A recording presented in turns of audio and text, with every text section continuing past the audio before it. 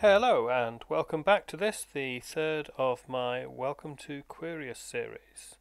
In the previous videos we discussed a few ways that you could make ISK in space and we gave you an introduction to the region of Querious as a whole.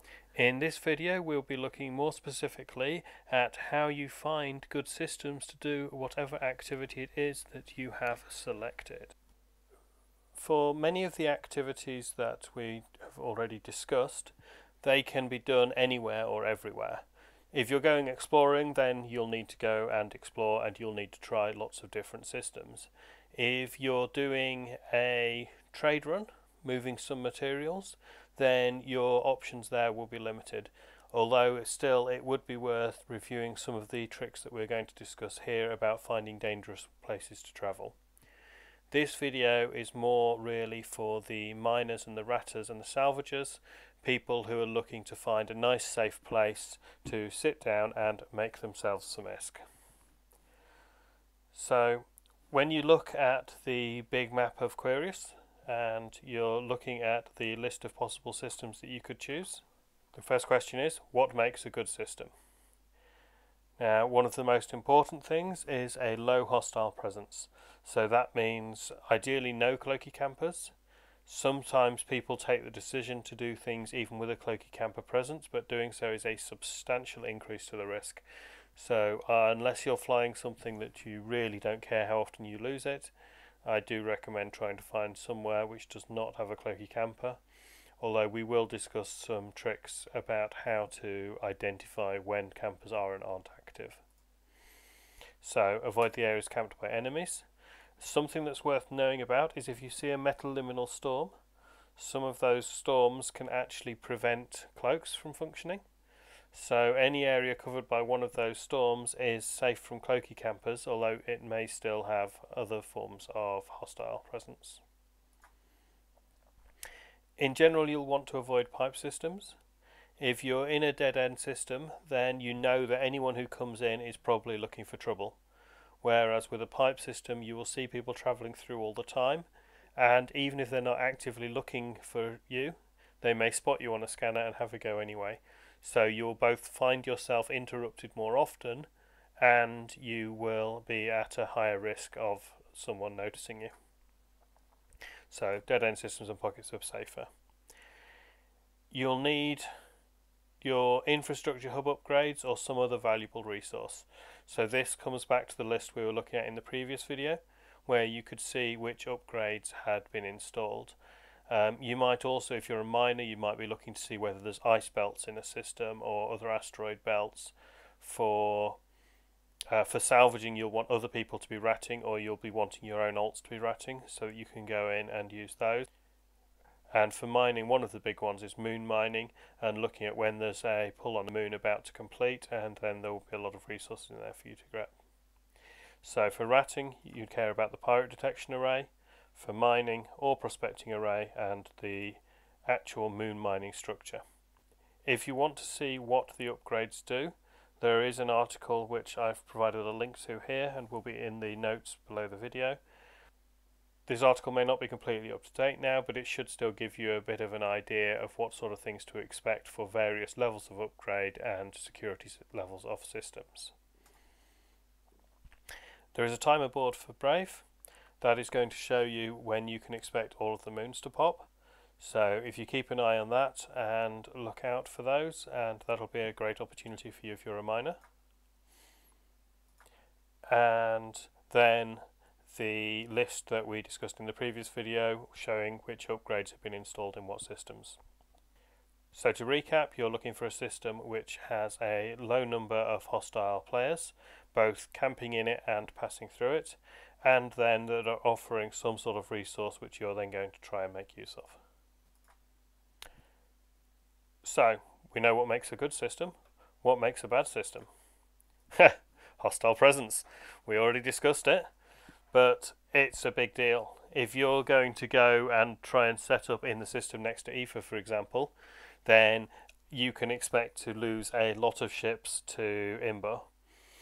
However, if you were a few jumps further away, or if you were in a dead end system, then maybe you'd be that little bit safer. Of course, there's always the risk of roaming gangs. You may see wormholers popping up out of nowhere, even if you've got eyes next door.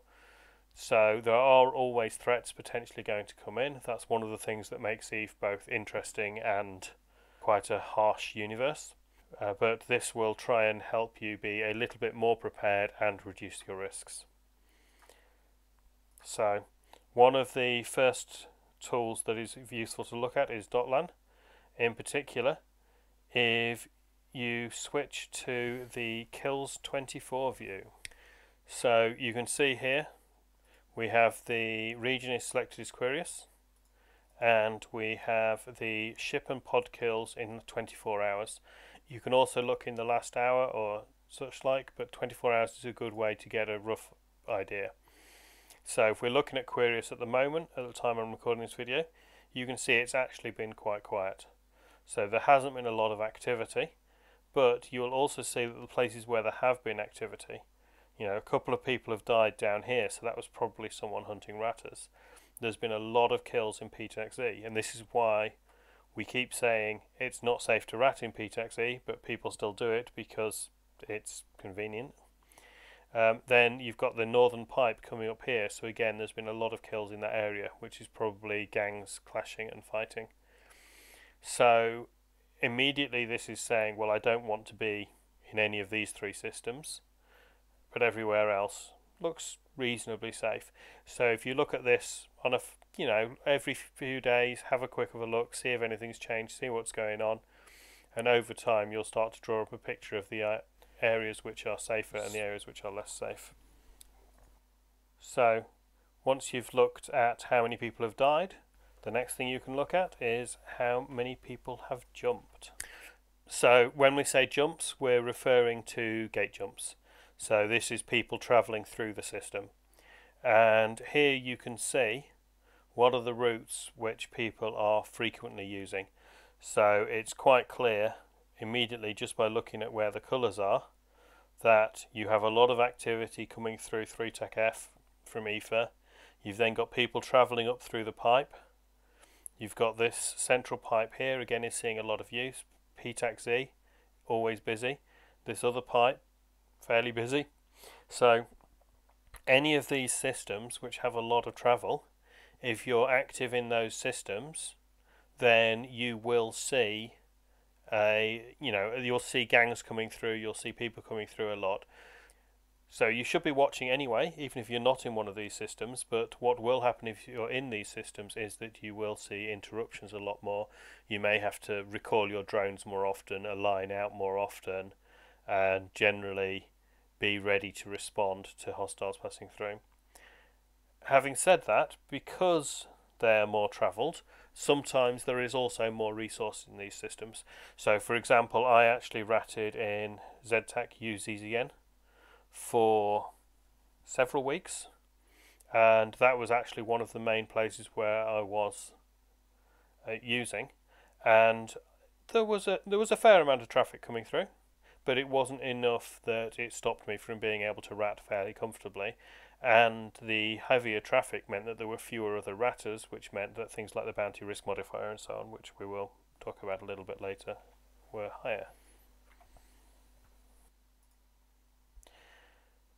As I mentioned earlier, the kill board is a valuable tool, not just a way to make yourself feel big and clever.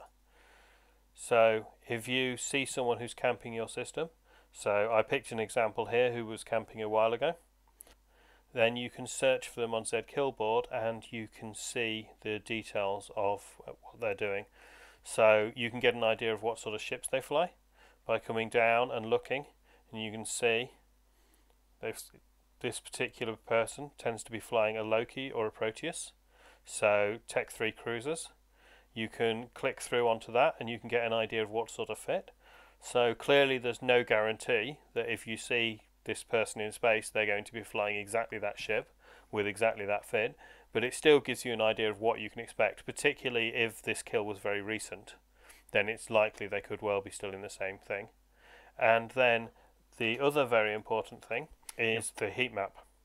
So you can look at the activity map for the last 90 days and you can see what sort of time zone they're active in and what sort of days they're active. So in this particular case, this is most likely a late European, early US time zone person. Uh, they're busy a lot of the time. They're very active, and they're uh, but you, you can see that they are clearly most active around this sort of early evening time. So if you were to log in and see them in system, and it's six or seven in the morning, you may decide it's worth the risk. But if you come in and it's six or seven in the evening, you might say actually they they are almost certainly going to be active. Uh, for people who are less active than this, th- this can be much clearer.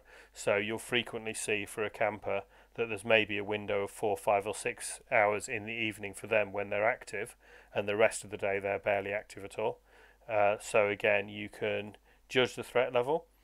This is Eve. Nothing's ever guaranteed, but it does give you some idea and some way of making an informed decision rather than just giving up all hope immediately. So the next thing that makes a bad system is poor infrastructure or resources. At its most simple level, this is just that there is nothing to mine, there's no iHub upgrades, it's a poor security status, there's nothing in the belts.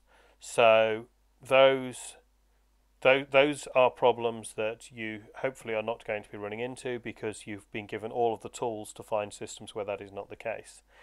Uh, the last thing, though, which is more dynamic, is something called the bounty risk modifier, and if the system is too heavily ratted.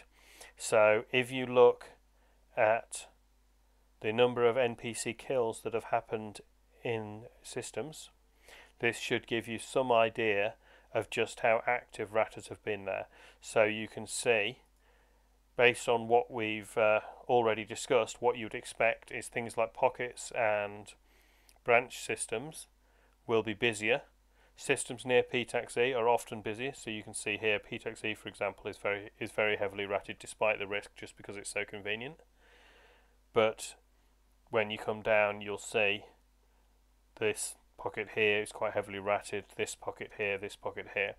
So there are good things about that. It means it's probably reasonably safe. Uh, anyone who's coming hunting ratters will know to come and look there but clearly people are feeling safe enough to be active and to have killed 5,000 NPCs in IGE in the last 24 hours, for example, or 12,000 if you're in W6V. So if people are active in those systems, that's a good sign that they are fairly safe and they are a good place to go if you're risk averse. However, there is a dynamic modifier called the bounty risk modifier. So whenever someone rats in a system, then the bounty risk modifier will go down. Whenever someone is blown up in a system, it will go up. So you can see I'm here at our coalition staging in T5Z in my eagle rocking its brave colour skin. And you can see that here the bounty risk modifier is 200%. So that means that if someone were to come and blow up a let's say a battleship rat in here that is usually 1 million ISK, they would actually get paid out 2 million ISK. So for every minute you spend ratting, you will get twice as much ISK. On the other hand, in the very heavily ratted systems where very few people have died, you will see the bounty risk modifier will have gone completely the other way. Now these thresholds and limits do change from time to time. So the maximum was recently increased to 200%. I'm, I'm not actually sure what the current lowest possible is, but you could be looking at 50 or 60%. So you actually have potentially from one of the lowest BRM systems to one of the highest BRM systems, you could be making four times as much ISK. But in order to get that, you have some reason why lots of other people haven't been ratting there. Uh, so either it's higher risk, as in this example where I'm in the coalition staging, so there is a constant hostile presence, or it may be that the, the resources are poor or there is a lack of infrastructure. So, for example, in systems with no station, you will often find that the bounty risk modifier is better because fewer people will be in there and ratting. That does mean that if you're confident to go in there and rat, for example, by fitting a cloak on your ship and using a safe spot, then you may well get a better return. Uh, this does not affect the salvaging return.